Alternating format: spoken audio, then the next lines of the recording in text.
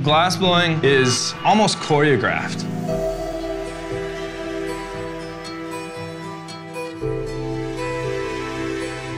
If you don't move beautifully with the material, you can't make beautiful glass. You can force it to become what you want it to be, but it's going to capture those hesitations. I'm a good dancer with glass.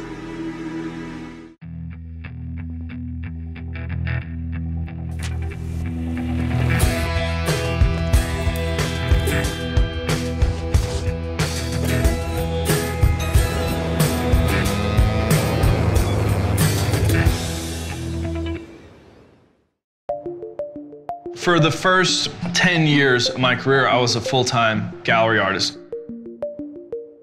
Being fortunate enough to be successful was fantastic, but it's very, very literally feast and famine. I was in residency and I realized that to keep going, we're, you're going to have to do something besides sell the sculpture, which sells every few months.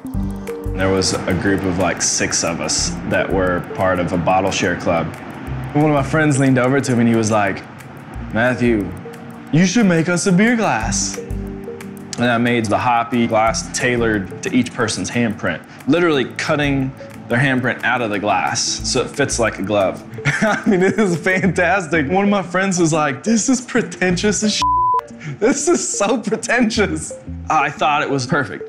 And it's weird to think about how rewarding a $35 beer glass is versus a $6,000 sculpture. But I can get those in people's hands. I can give people access to something artistic and something creative and something well made, which is really, really hard with a handmade craft.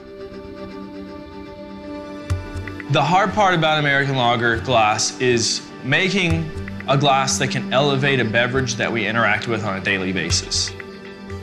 There's so many different people that drink that beverage. How do I approach designing something that everyone's going to appreciate. So one of the things that make my glassware very unique is thinking about how the beer drinker is going to interact with them, how it fits in their hand, how it feels, what happens as they're drinking it. I think the vessels that you serve food and drinks in are not only important because of the way they look, uh, but they're also important about the way they make the food or the drink taste. You know, when you pair up with somebody who can make any glass that you want, you can have all these different shapes and vessels so you finally get the one that makes it taste, smell, flow, carry, all at the same time right. And that's really cool. I have huge respect for brewers. I mean, that is a craft and an art form as well. When we pour a lager into this glass, it has all of these undulations that feel great in your hand. It's ergonomic. It feels fantastic. You see color variation in it. It's almost like a Rothko painting when you fill it up. And that's something where you pour a beer into it and you stop and you look at it and you hold it up to the light and you're like, this is a gorgeous experience. Sometimes I design something for the flavor profile and the experience at the same time. So like the aromatic glass with the mountain on the inside, that creates extra surface tension. So is a design element that looks beautiful seeing this mountain emerging out of beer, but while you're drinking it, it keeps the head maintained and it ensures that you get a great aroma experience. And this one works for the hoppy beer, so I drink my hoppy beers out of this. And, you know, the glassware makes a difference. It, it intensifies the, um, the experience. Well, this is a question I get asked a lot. How long does it take you to make this? I tell them 10 years.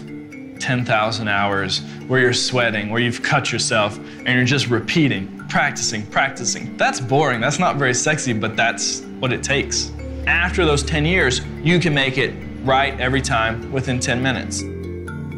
Glassblowing was invented by the Romans in 50 BC. Same tools, same techniques, and it's a very unforgiving medium. At best, you have a 15 second window between success and failure.